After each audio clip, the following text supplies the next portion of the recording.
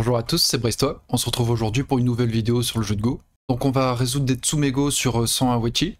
Aujourd'hui on va résoudre des Tsumego de niveau 13Q. Donc on va commencer tout de suite. On essaye de les résoudre, puis on les explique. À chaque fois je laisse un tout petit temps de pause, comme là, pour les résoudre.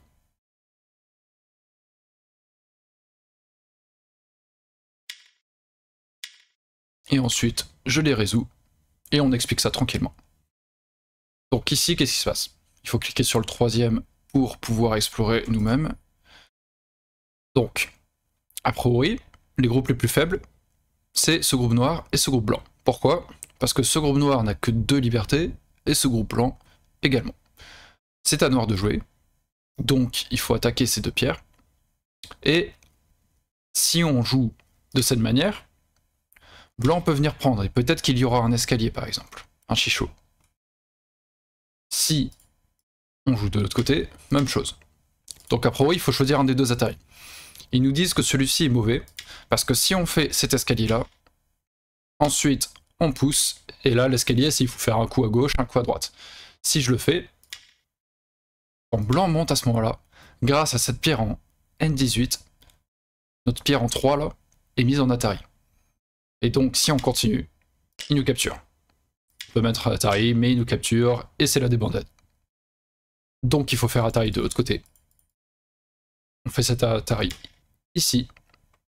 Quand blanc monte, cette fois, on voit que tout va bien se passer, parce que quand blanc monte ici, la pierre est située en N18 et non en O18, donc on peut continuer un coup à gauche, un coup à droite, un coup à gauche, un coup à droite, et bloqué par le bord.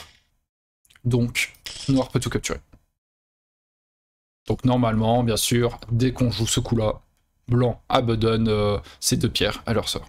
Bien sûr, plus tard, il pourra revenir pour essayer de jouer avec, par exemple, euh, en menaçant de mettre une pierre sur le chemin. Et la noire doit capturer d'une manière ou d'une autre. Et blanc peut alors s'installer. Donc il ne faut pas forcément essayer de sauver toutes ces pierres, mais les utiliser euh, du mieux qu'on peut. On passe au deuxième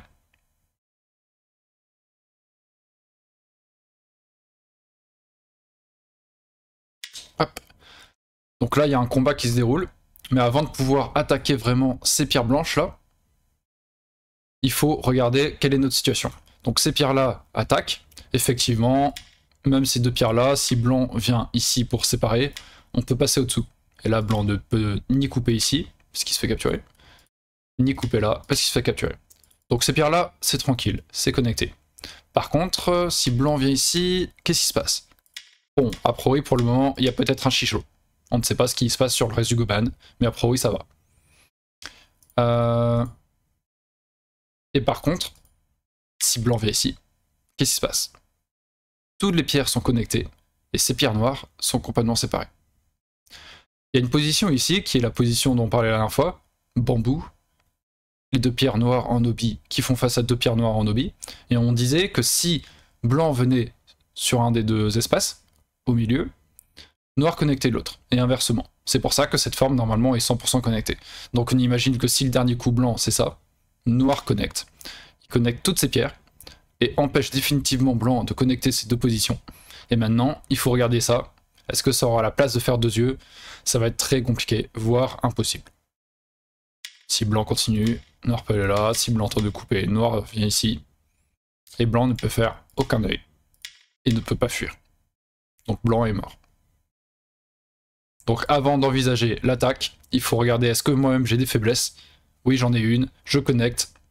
Et si ça permet en plus d'être sûr de tuer, tant mieux. Mais on ne peut pas vraiment attaquer euh, avec des positions instables, faibles. On passe au troisième Hop.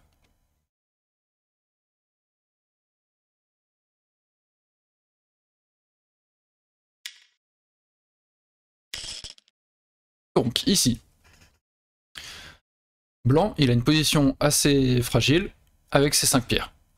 Parce qu'elles n'ont qu'une seule liberté ici et une deuxième là. Ok. Qu'est-ce qu'il y a d'autre comme position? Ces trois pierres-là, elles sont assez solides parce que ici c'est connecté en Kosumi. Les deux espaces sont libres, donc ces trois pierres-là sont connectées et on ne sait pas ce qui se passe de ce côté, mais on imagine que blanc est tranquille.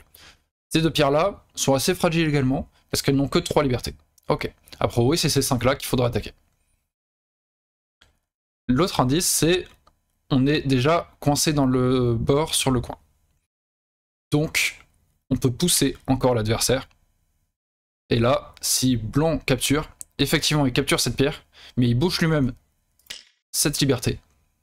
Et donc, c'est un snapback. Noir se fait capturer, euh, blanc se fait capturer entièrement. Blanc euh, n'a pas vraiment d'autre solution, parce que s'il joue ailleurs, par exemple s'il met en Atari ces deux pierres, hein, effectivement si Noir ne répond pas, Blanc capture ça. Noir peut capturer tout de suite, parce qu'il reste qu'une seule liberté. Donc, euh, mince, je galère un peu. Après ce coup-là, Blanc est mort. Au maximum, il pourra encore une fois utiliser ces pierres-là pour mettre Atari de ce côté. Noir capture, et Blanc euh, peut-être continue dans cette direction. Hop, quatrième.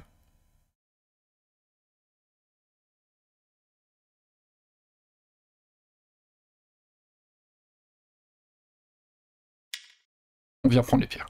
En fait, ici, je comprends, ce qui est tentant, c'est de se dire, si je joue là, j'ai l'impression que toutes mes pierres noires vont se connecter un petit peu. Mais en fait, c'est dangereux, parce que ces deux pierres blanches n'ont certes que de liberté, mais on regarde la position noire, un groupe, un deuxième, un troisième, un quatrième, un cinquième. Donc la position est assez précaire. Et effectivement, si blanc fait atterrir comme ça, noir défend sa pierre, hein, parce que s'il ne défend pas, blanc capture, connecte toutes ses pierres et il va se faire capturer ces deux-là. Donc, noir protège, mais alors blanc peut faire double Atari ici, Atari sur cette pierre et sur celle-là. Ce qui intéresse blanc comme noir, c'est celle en 1, qui coupe les deux positions de blanc. Mais noir ne peut pas la sauver, parce que comme on a vu la dernière fois, si noir descend, blanc pousse. Cette fois, il est obligé de faire de ce côté, il peut pas choisir. Quand noir fuit, blanc capture. Je dis que blanc ne peut pas choisir, parce que s'il pousse de ce côté, il se retire lui-même une liberté et se fait capturer d'abord. Donc c'est pas possible. Donc voilà, tac, tac, tac, tac. Donc noir ne peut pas y aller ici, et même si c'est tentant, il ne faut pas être trop gourmand et descendre comme ça.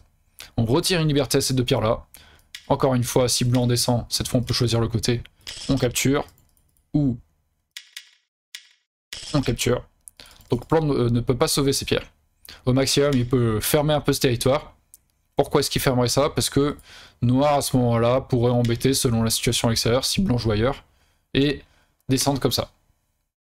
Blanc descend et noir peut connecter par au-dessous comme tout à l'heure. Pourquoi est-ce que je ne montre pas ce coup-là? Parce que blanc peut toujours récupérer la pierre en soi. Donc ça va. Hop. Le cinquième,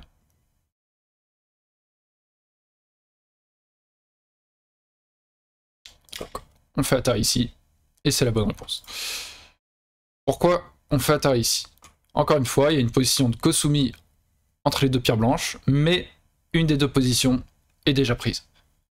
Donc si on veut couper, il faut jouer dans l'autre. Et en plus, en jouant dans l'autre, en séparant les positions de blanc, blanc ne peut plus fuir, parce qu'il lui reste une seule liberté, mais s'il y fuit, il se cogne à la pierre en Q13, et noir capture le tout. Donc dès ce coup-là, les trois pierres blanches sont mortes, et au maximum, pour l'utiliser, on pourrait faire euh, contre Atari en S15, noir sort ou capture, ici c'est mieux de sortir, et blanc peut continuer et essayer de vivre dans son coin. Ici, il faut rajouter un coup dans le coin, sinon ça peut être compliqué. Euh, je peux montrer vite fait si vous voulez. Il y a peut-être des petites séquences sur euh, ces positions-là. Il faudrait calculer parce qu'avec cet Atari, je ne sais pas trop ce que ça donne. Hop. Voilà, n'hésitez pas hein, à me dire si je vais trop vite ou pas assez vite. Euh, je sais qu'il y a moins de personnes qui regardent ces vidéos-là, mais ça plaît à certains parce que quand je joue mes parties niveau 1 Dan, forcément ça répond plus à des personnes qui jusqu'à, je sais pas, 10, 15 Q. Et là, bon, ces niveaux-là, peut-être que ça, j'ai moins de personnes qui regardent mes vidéos à ce niveau-là, oui. Mais ça doit servir quand même certaines personnes et autant faire ça. Je pense qu'il n'y a pas beaucoup de vidéos comme ça en français. Euh, j'en profite pour euh, vous dire, n'hésitez pas à mettre j'aime à la vidéo si cela vous plaît. Et à vous abonner à la chaîne si ce n'est pas déjà fait, si vous voulez être prévenu des prochaines vidéos. Merci beaucoup. On va passer à la prochaine vidéo. À la prochaine, au prochain Tsumego, pardon. Donc le sixième, Qu'est-ce qu'on fait?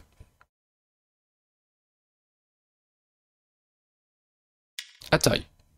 Atari. Capture. Alors, qu'est-ce qui s'est passé ici?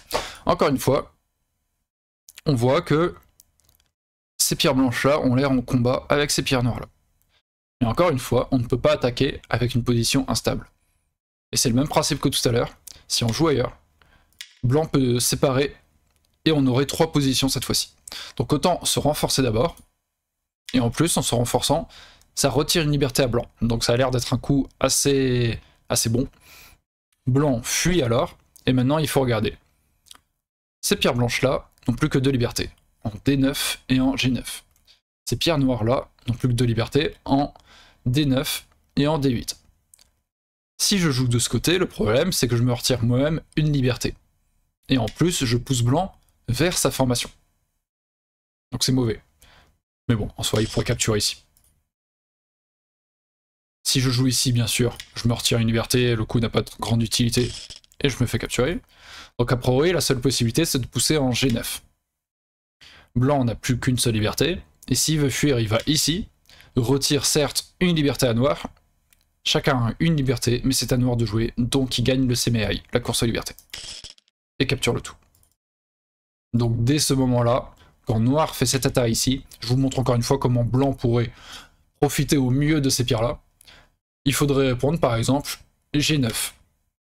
Pourquoi? Parce que quand noir prend, blanc peut recapturer cette pierre-là. Sauver alors celle-ci. Ça peut être un bon coup de diocé par exemple, de fin de partie. Plutôt que perdre le tout. On passe au septième?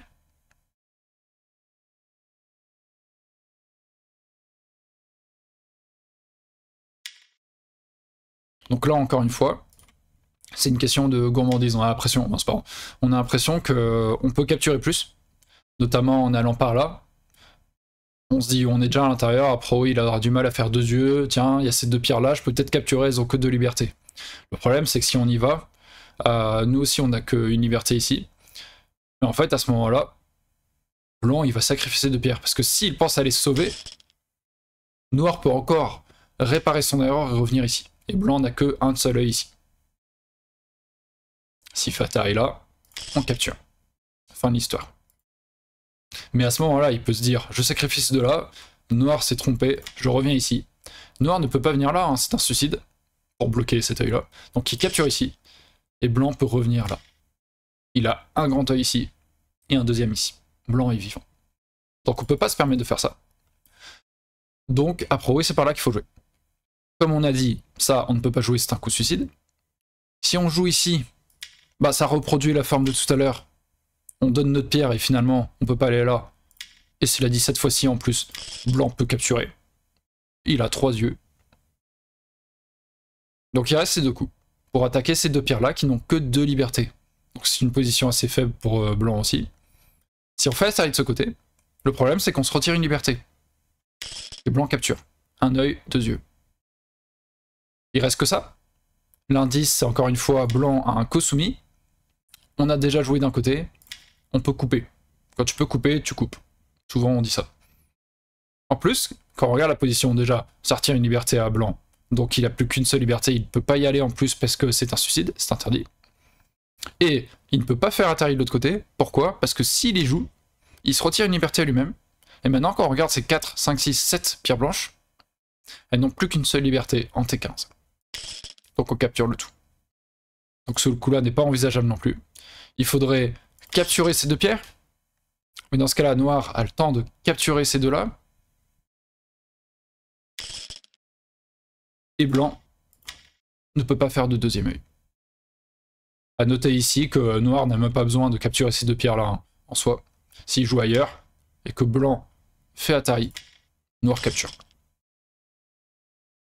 mais c'est pour montrer qu'il n'y a vraiment qu'un seul œil. Le huitième.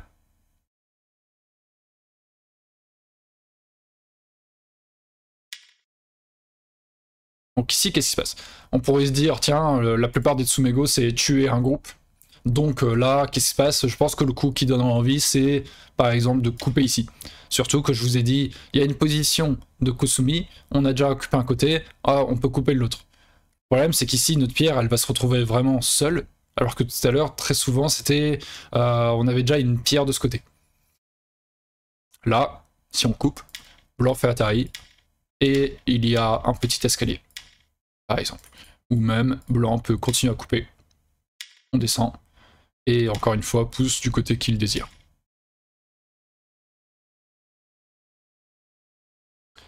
Mais par contre aussi, on voit que si noir ignore, joue ailleurs, blanc peut jouer par là. Parce que blanc n'est pas le seul à avoir sa position de Kutsumi qui est coupée, potentiellement. Noir, ici, dès le début, il est déjà coupé. Les deux Kosumi coupés comme ça, ça s'appelle un crosscut. Et les du coup, il y a quatre groupes d'office. Si blanc sauve cette pierre, ces deux pierres noires là vont être en difficulté et un, combat assez difficile, euh, pour se lancer. Donc, Noir, il faut qu'il s'occupe de cette pierre-là. Il la capture en la poussant de ce côté. Pourquoi? On a vu que si Blanc va de ce côté, Noir n'aime pas trop.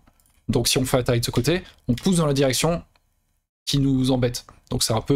Euh, c'est embêtant, tout simplement. Alors que si on fait ce côté, déjà, il y aurait peut-être un, potentiel chicho, escalier, mais là, même grâce à la pierre en P14, Blanc ne peut même pas sortir. Il se cogne direct à cette pierre, et on capture les deux. Donc la pierre est capturée, ici il se passe plus rien. Et toutes nos pierres noires sont connectées. Et ensuite, on pourra peut-être envisager des choses dans le coin, ça dépend de ce qui se passe. On passe au neuvième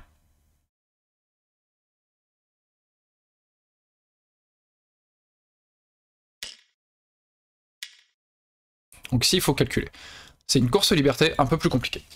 Pourquoi? Parce que c'est à noir de jouer. Après, oui, ces 4 pierres se battent contre euh, ces 6 pierres-là. Noir, il a combien de liberté? Il en a une, deux, trois. Blanc en a combien? Une, deux. Bon, bah, a priori, on gagne, c'est sûr à 100%. Oui, mais attention.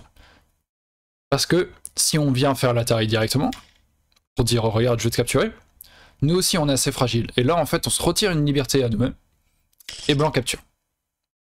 Blanc est vivant dans le coin, avec un œil, deux yeux. Cette position est bien abîmée, il y a un point de coupe, assez évident. Et ces quatre pierres-là risquent de mourir, très probablement. Donc on ne peut pas aller en T19. Il faut d'abord sonner notre forme, capturer cette pierre qui nous gêne. Et là, même si blanc revient ici et dit bah, du coup je t'enlève une liberté, on recompte les libertés. Une, deux pour noir, une, deux pour blanc. Ok, on avait la marge, donc on peut y aller. Gagne le CMI, la course aux libertés. Blanc joue ici, on capture le tout. Donc il n'y a pas de problème. Et le dernier, qu'est-ce qui se passe ici? Qu'est-ce que le noir peut prendre?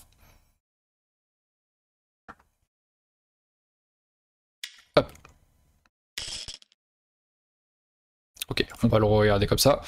Alors, ici, effectivement, il y a encore la position de Kosumi. Noir est de ce côté. Il peut aller de l'autre. On voyait euh, sur le problème précédent que c'était pas une très bonne idée parce que euh, euh, on était isolé de l'autre côté. Ici, on est également isolé, mais ce qu'on regarde, c'est que ça attaque. Ça met Atari sur ces 5 pierres-là. Et à la fois Atari sur ces 3 pierres-là. Il y a un double Atari. D'ailleurs, dans l'exemple, il nous montre... Oui, bon, on va sauver celle-ci. Tac. On sacrifie quand même 5 pierres ici. Il vaut mieux protéger de ce côté. Et noir en capture 3. Il vaut mieux sauver euh, le plus de pierres possible. Et bien sûr, si on fait Atari de ce côté, on se fait capturer directement. Et il n'y a plus aucune coupe et deux yeux directement pour blanc ici, en plus du coin. Et même chose de l'autre côté. Donc ici, double Atari. Blanc ne peut pas sauver les deux côtés à la fois. Tout simplement. Donc la position de blanc était assez euh, précaire. Si c'était à... Qu'est-ce que j'ai fait? Si c'était à blanc de jouer, il protège comme ça tout simplement. Il se fait deux yeux et il est tranquille. Voilà, voilà. Ça sera tout pour aujourd'hui. Donc euh, je sais que le rythme est un peu bizarre dans la vidéo parce que je fais ça en, direct. Je pourrais les faire, les 10 comme ça, euh, directement, et après revenir dessus pour savoir que dire exactement, mais je trouve que c'est mieux de commenter en direct parce que bah, moi-même je suis confronté au problème et, ça montre vraiment quel cheminement je peux avoir euh, dans ma pensée, tout simplement. Voilà. Donc euh, n'hésitez pas à me donner des conseils si vous voulez que j'améliore un peu ça. Et n'hésitez pas si vous avez la moindre question également. Encore une fois, n'hésitez pas à aimer la vidéo. Ça soutient beaucoup la chaîne et ça permet de mieux référencer la vidéo. Et à vous abonner si jamais vous voulez être prévenu des prochaines vidéos et même pour me soutenir également. Voilà. Sur ce, je vous dis bon week-end à tous et à dimanche pour une nouvelle vidéo de Go et Café normalement. Salut